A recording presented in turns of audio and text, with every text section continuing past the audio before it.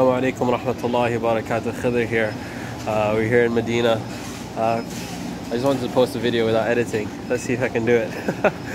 so the malls here um, were ordered to shut down. A lot of panic buying now in the supermarkets. Carts are full, you know. People are going crazy. So yeah, I mean, subhanallah.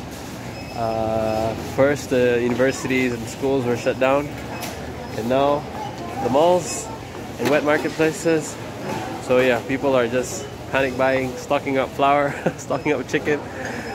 Subhanallah. May Allah subhanahu wa ta'ala keep us all safe.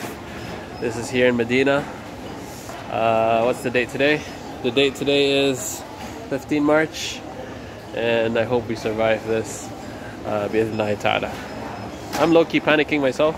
Look at the amount of chicken I bought. Uh, we're gonna add more things inshallah. So for those around the world, I hope you guys stay safe.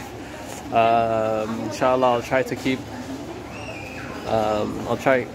Uh, I probably should have done that right. Touch my mask, but inshallah, I'll try updating more often with regards to how life here in, is in Medina, and. Uh, yeah, keep making dua, keep making tahajjud. This all goes back to normal. A lot of travel is affected, um, even my own family, you know. Ala kulli hal, keep us in your du'as as well. Uh, but it's definitely the best place to be during all this craziness is in Medina. So I'll keep you guys in my dua as well.